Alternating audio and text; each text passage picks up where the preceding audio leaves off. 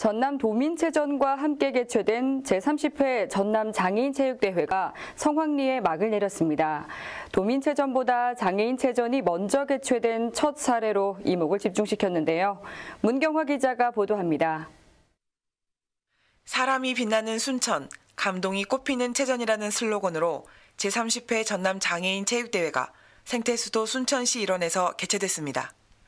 지난 11일부터 사흘간의 일정으로 진행된 장애인 체전은 22개 시군 선수단 입장에 이어 개회 선언, 대회기 개양, 성화 점화순으로 개회식이 진행됐습니다.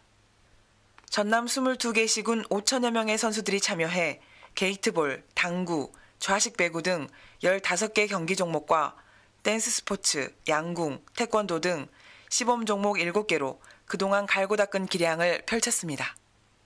1만여 명의 관람객이 순천을 찾아 선수들의 선전을 기원했고 선수들은 선의의 경쟁을 펼치며 단 한 건의 사고도 발생하지 않은 안전한 대회를 치렀습니다.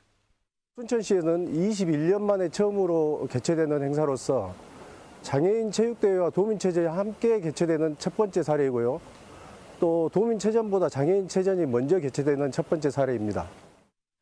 여수시가 종합 우승을, 순천시 2위, 목포시가 3위를 차지해 시상식과 함께 차기 장애인 체전을 개최하는 완도군에 대회기 전달 등을 끝으로 사흘간의 축제를 마무리했습니다.